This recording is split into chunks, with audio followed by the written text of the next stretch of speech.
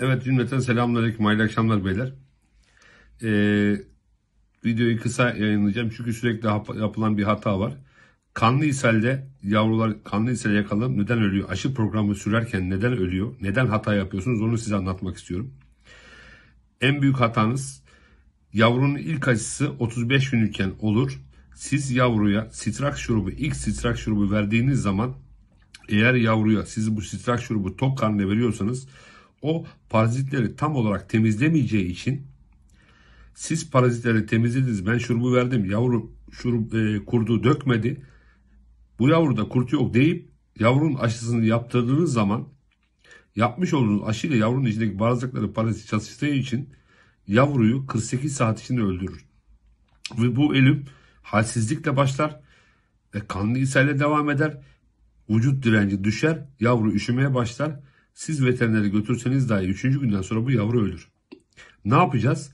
Yavru normalde şurubu verdikten, şurubu vermeye başladı. 35. günü eğer aşı yapıyorsak ya da 40. günü o size kalmış bir şey. Normalde 35 gündür. 35. günü bu ilk aşı yapılır. Yavruya 3 gün öncesinden parazit tedavisi yaparken eğer anneden besleniyorsa yavruyu 4-5 saat anneden ayırıyorsunuz. Süt emmiyor. Yavrulara şurubu verdikten yaklaşık 3-4 saat sonra annenin yanına koyuyorsunuz ya da normal gıdasını veriyorsunuz. Mama veriyorsanız mama veriyorsunuz. İlaç mı veriyorsanız ilaç mı veriyorsunuz. Bu 3-4 saat içinde aşıdan sonra 3-4 şey, şuruptan sonra 3-4 saat içinde bu yavru bunu yedikten sonra büyük abdestini yapma içgüdüsü uyanacağı için ve o arada bağır, şurup bağırsaklara teneffüs ettiği için bütün bağırsaklardaki kurtları temizler ve aşınız sağlıklı olur. İkinci hata yavru aşıyı yaparken mutlaka ve mutlaka aşı tarihine bakın.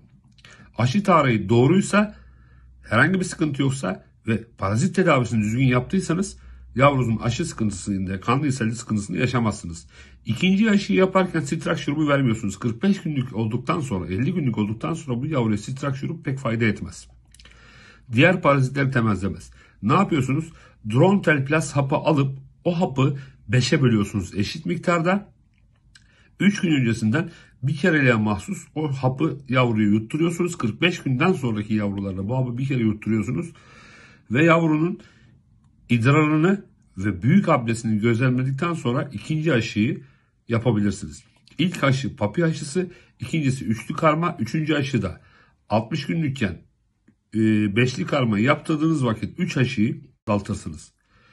Ve bu dönem zarfında evsel gıda, yağlı gıda, tavuk kemiği gibi ishal yapıcı süt özellikle yavruya süt verirseniz bu ishale sebep olacağı için yavrunuzun e, ishal olduğunda vücut direnci de düşeceği için yapmış olduğunuz tedavinin bir anlamı olmaz. Yavruyu ishale çevirir. İshal de vücudun yavrunun direncini azaltır ve üşüme başlar ve ölüm gerçekleşir.